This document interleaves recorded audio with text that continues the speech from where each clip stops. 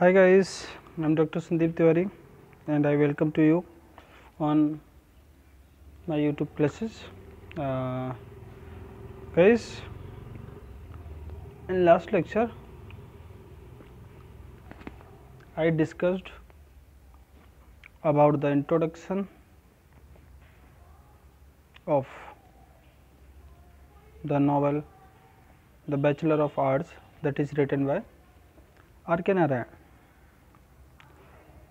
And in today's video, I am going to discuss about its summary, its story and one more topic or one more, more element that is the significance of the title The Bachelor of Arts. So, let us start. तो कल हमने आपको story में बताया था या कल के इंट्रोडक्शन में आपको बताया था कि this novel is based on the story या द कैरेक्टर या the life style of Chandran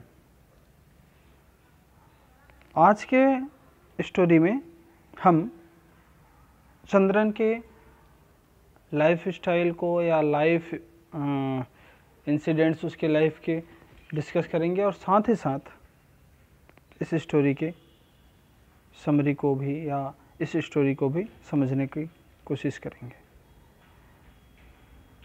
तो चलिए, देखते हैं।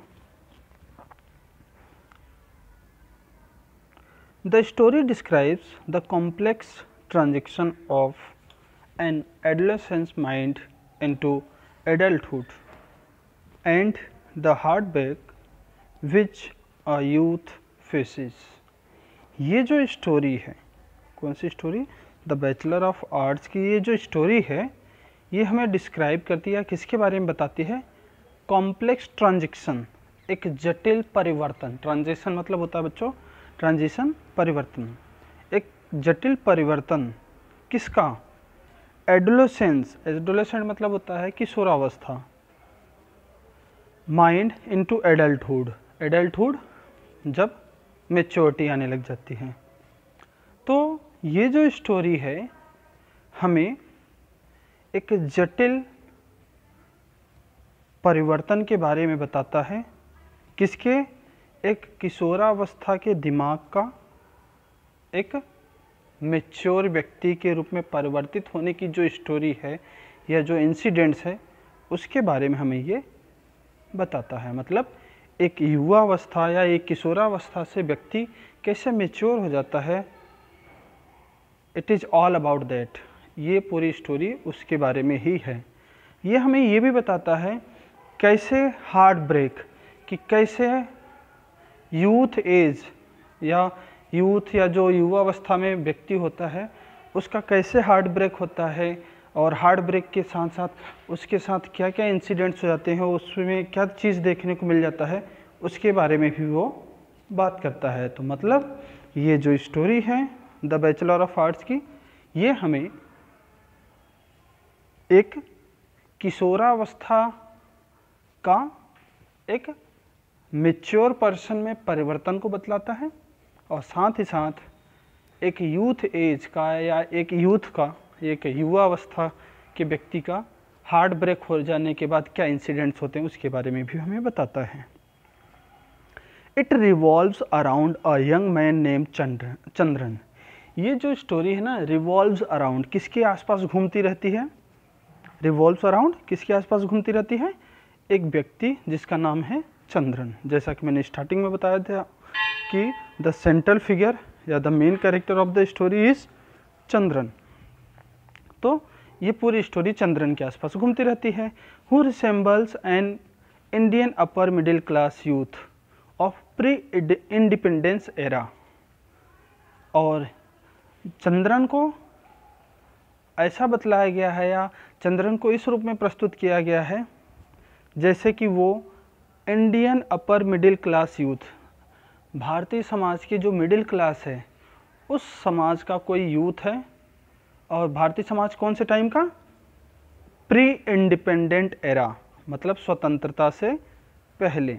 मतलब चंद्रन को स्वतंत्रता से पहले का जो समाज है भारत का, उसमें जो मिडिल क्लास के लोग थे, उस मिडिल क्लास में यूथ एज के रूप में या यूथ एज के एक व्यक्ति के रूप में प्रेजेंट किया गया है। मतलब जो मेन कैरेक्टर चंद्रन है, भारत की आज़ादी से पहले जो मिडिल क्लास सोसाइटी थी भारत की, उस सोसाइटी का एक व्यक्ति या एक युवा व्यक्ति के रूप में उसको प्रेजेंट किया गया है।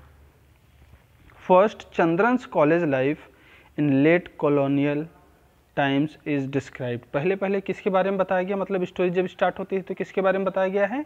कि चंद्रन की कॉलेज लाइफ के बारे में। कि कॉलोनियल टाइम्स कॉलोनियल टाइम कल भी बताया था मैंने। कॉलोनियल क्या होता है? उपनिवेश। मतलब जब दूसरे देश का, दूसरे देश पर राज हो या किसी एक देश का, अन्य देश पर राज हो। तो कॉलोनी कॉलोनियल टाइम में या उपनिवेश वाले टाइम में या भारत के परतंत्रता के टाइम में चंद्रन के कॉलेज लाइफ के बारे में सबसे पहले पहले डिस्क्राइब किया गया है इस स्टोरी में। After graduation he falls in love with a girl but is rejected by the bride's parents since his horoscope describes him as a manglik जैसे ही ग्रेजुएशन कंप्लीट हुआ, वो एक लड़की के प्रेम में पड़ जाता है, लेकिन उसके पेरेंट्स जो है, इस शादी से मना कर देते हैं। लड़की के पेरेंट्स ने शादी से मना कर दिया। क्यों? क्योंकि चंद्रन क्या था? मांगलिक था। और मांगलिक क्या है? मांगलिक is a condition in which a manglik can only marry an other manglik. And if not the non manglik will die और मांगलिक वाले कंडीशन में क्या है कि अगर एक मांगलिक है तो वो दूसरे मांगलिक से ही शादी कर सकता है। मतलब लड़का मांगलिक है तो मांगलिक लड़की से ही शादी कर सकता है लड़की मांगलिक है तो लड़, मांगलिक लड़के से ही शादी कर सकती है। अगर नहीं करते हैं तो जो नॉन मांगलिक है जो मांगलिक नहीं है वो मर जाएगा। Malti the girl with whom Chandran falls from college is then married to another to someone else Malti, जिससे वो प्रेम करता था कॉलेज के लाइफ के टाइम से, वो किसी और से शादी कर लेती है। एक्चुअली स्टोरी क्या होता है बच्चों? मैं जल्दी से एक स्टोरी आपको एक्सप्लेन कर देता हूँ। इसकी मेन स्टोरी क्या है कि चंद्रन ग्रेजुएशन के बाद मतलब कॉलेज की लाइफ पूरी करने के बाद, वो समुद्र के किनारे घूमने चले जाता है। घूमने, घूमते रहता है या एक नदी के किनारे घूमता रहता है शाम के टाइम में। वहीं पे वो एक लड़की देखता है और लड़की देखने के बाद वो उससे प्रेम करने लग जाता है। मतलब एक तरफा प्रेम करने लग जाता है और धीरे धीरे धीरे धीरे धीरे धीरे उसका एक फ्रेंड था मोहन वो भी उसको बहुत सपोर्ट करता है आ, उस लड़की का नाम पता ढूँढने में। तो धीरे धीरे उसको पता चलता है कि उस लड़की का नाम मालती है और वो भी उसी के कास्ट की है तो वो खुश हो जाता है कि शादी में कोई प्रॉब्लम ही नहीं आएगी। और चंद्रन अपने माँ बाप को काफ़ी फोर्स करता है कि उस लड़की से शादी की बात चलाएँ। और जैसे ही वो शादी की बात चलती है तो दोनों की जब हॉरोस्कोप जब कुंडली मिलाई जाती है तो कुंडली मिलाने पर ऐसा पता चलता है कि चंद्रन जो है, मांगलिक है। तो मांगलिक होने के कारण उसकी शादी उससे मालती से नहीं हो सकती है। और इस वजह से मालती की शादी किसी और व्यक्ति से हो जाती है और चंद्रन का दिल टूट जाता है। और चंद्रन का दिल टूटने के बाद क्या होता है, उसकी आगे की स्टोरी अभी आगे डिस्कस करते हैं। तो अभी तक आपने देख लिया। कि चंद्रन मांगलिक था, इस वजह से उसकी शादी मालती से नहीं हुई, वो मालती किसी और से शादी कर लेती है आगे देखते हैं Chandran is absolutely heartbroken to the extent that he goes to Madras and starts living on streets. Chandran का दिल इस कदर इस कदर टूट गया या इस हद तक टूट गया कि ही गोज़ टू मद्रास, वो मद्रास चला जाता है मतलब अपने घर को छोड़कर मद्रास चला जाता है और स्ट्रीट्स में, गलियों में रहने लग जाता है मतलब फुटपाथ पर सोने लग गया, वहीं अपने जीवन को व्यतीत करने लग गया। Starving delusion and full of self pity he ends up wandering from place from one place to another भूखा प्यासा, एकदम छलावा, छला हुआ और दयनीय अवस्था में उसने अपने भटकने की मूवमेंट को या जो भटकने का जो तरीका था, उसको वो रोकता है, जो एक जगह से दूसरी जगह भटकता रहता है। मतलब कि काफ़ी भूख प्यास होने के बाद और काफ़ी दयनीय अवस्था में आने के बाद वो इधर से उधर, एक जगह से दूसरी जगह भटकना बंद कर देता है। आल्सो फ्रस्ट्रेटेड एंड डेस्परेट वो निराश भी था और थोड़ा सा उदास भी था। He then embarks on a journey of as sannyasi मतलब निराश, उदास थका हारा भूखा प्यासा, दयनीय अवस्था में होने के बाद उसने अपना एक जगह से दूसरी जगह भटकना बंद कर दिया और एक सन्यासी के जीवन की जर्नी को उसने स्टार्ट किया। मतलब वो सन्यास धारण कर लेता है मतलब साधु वाली लाइफ में चला जाता है कि मैं महात्मा बनूँगा, साधु बनूँगा, सन्यास लूँगा। तो वो वो वाली लाइफ या सन्यासी वाली लाइफ स्टार्ट करता है। On his journey he meets many people and he also misunderstood as a great sage by some villagers और जब वो ये लाइफ जी रहा होता अपना सन्यासी वाला तो इस जर्नी में बहुत सारे लोगों से वो मिलता है और बहुत सारे लोग यानी जो, जो भोले भाले विलेजर्स थे गाँव के लोग थे वो उसको मिसअंडरस्टूड मतलब गलत फहमी में उसको एक बड़ा सा सेज मान लेते सेज मतलब साधु एक बड़ा महात्मा या साधु मानने लग जाते हैं। मतलब वो एक बड़े महात्मा और साधु के रूप में जाना जाने लग जाता है कुछ लोगों के द्वारा। आफ्टर एट मंथ्स मतलब आठ मंथ पूरा आठ महीने अपनी इस ज़िंदगी को व्यतीत करने के बाद मतलब साधु के रूप में, जब उसने अपने आठ महीने कंप्लीट कर लिए, आठ महीने साधु बना रहा, तब उसे अचानक से रियलाइज़ हुआ he thinks what mess he has become मतलब उसके साथ क्या गड़बड़ मेस मतलब गड़बड़ होना या उल्टा सीधा करना कि उसने क्या उल्टा सीधा कर दिया, क्या गड़बड़ कर दिया सब कुछ? He thinks about his parents वो अपने पेरेंट्स के बारे में सोचने लग जाता है। मतलब आठ महीने सन्यासी की ज़िंदगी बिताने के बाद उसको अपने पेरेंट्स की याद आती है और वो अपनी गलती पर पछतावा करने लग जाता है और due to remorse and realisation he decides to return home और रिमोर्स पछतावे और अपने गलतियों का रियलाइज़ करने के बाद उसने डिसाइड किया कि वो अपने घर को लौटेगा। he takes up a job as a new agent, news agent and decides to marry in order to please her, his parents. Thinking of the discomfort he had caused them earlier. Thinking of the discomfort he had caused them earlier. अपने द्वारा अपने parents को दिए गए discomfort नुकसान या चोट या परेशानी के बारे में सोचते हुए उसने डिसाइड किया कि अब वो शादी करेगा, ताकि उसके पेरेंट्स खुश हो सकें। और साथ ही साथ उसने एक न्यूज़ एजेंट का जॉब भी पकड़ लिया मतलब न्यूज़ एजेंट का काम करने लग जाता है। न्यूज़ एजेंट मतलब समाचार पत्र वगैरह इधर उधर करने वाले तो उसका भी काम करने लग जाता है।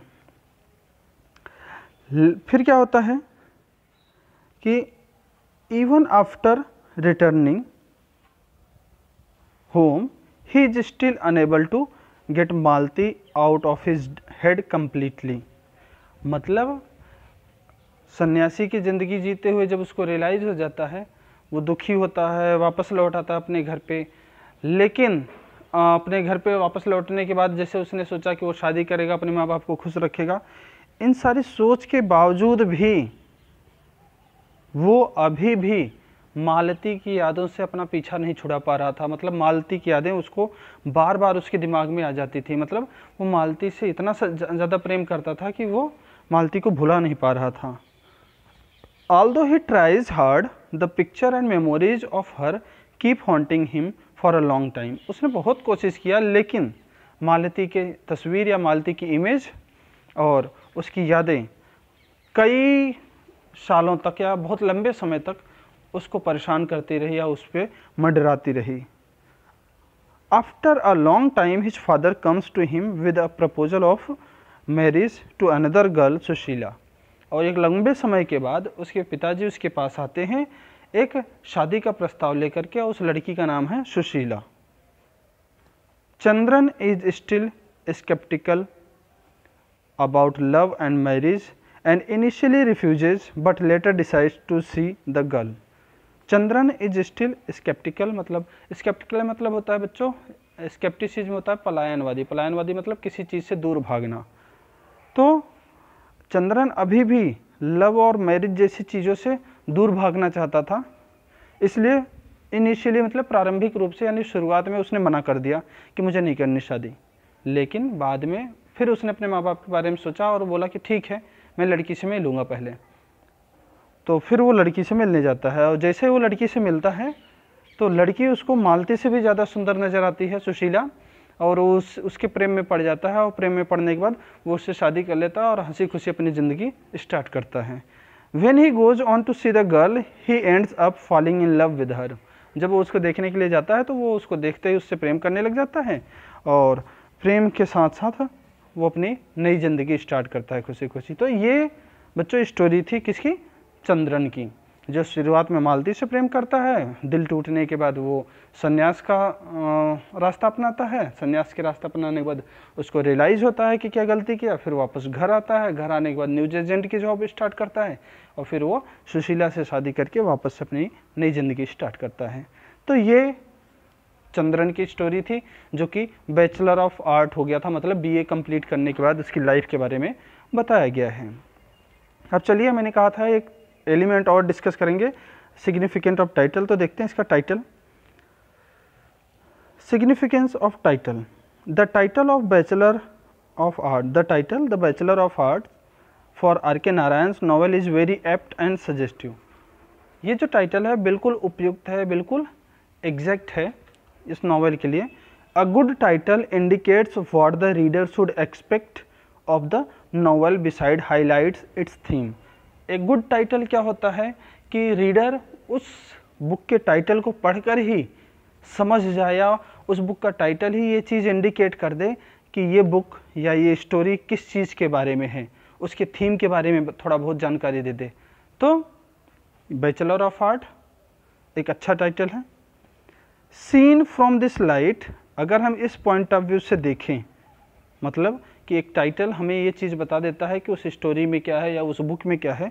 अगर इस पॉइंट ऑफ़ व्यू से देखें तो bachelor of arts combines admirable admirably the sense of something plain and concrete अगर इस हिसाब से देखें तो ये जो टाइटल है बैचलर ऑफ़ आर्ट बिल्कुल एकदम प्लेन और कंक्रीट वाली मतलब एकदम उपयुक्त बात करता है, एकदम सीधी सीधी बात करता है कि ये बैचलर ऑफ़ आर्ट जो टाइटल है, वो किसके बारे में है। The novel as its title indicates traces the life and career of Chandran ये जो नावल है, जैसा कि इसका टाइटल शो करता है bachelor of art bachelor of art किसी बात की जा रही? चंद्रन की तो वो उसके लाइफ और करियर के बारे में ही सारी चीज़ें बताती है। He is indeed the bachelor of arts and the protagonist of the novel मतलब वही कौन? चंद्रन ही इस नावल का बैचलर ऑफ़ आर्ट है और साथ ही साथ वो प्रोटागोनिस्ट मतलब मेन कैरेक्टर या हीरो ऑफ़ द नावल भी है। तो आई होप बच्चों, ये आपको समझ में आ गया होगा। और यहाँ पे ये जो नावल है, ये इसकी स्टोरी कंप्लीट होती है। इसके दो तीन पॉइंट्स जो अच्छे अच्छे थे, उसके बारे में हमने डिस्कस कर लिया। And I hope everything of the story of the of the novel is clear to you but if there is any problem you can discuss with me so यहाँ पे अपना ये टॉपिक कंप्लीट होता है। Next video में हम next topic के साथ मिलेंगे। तब तक के लिए गुड बाय थैंक यू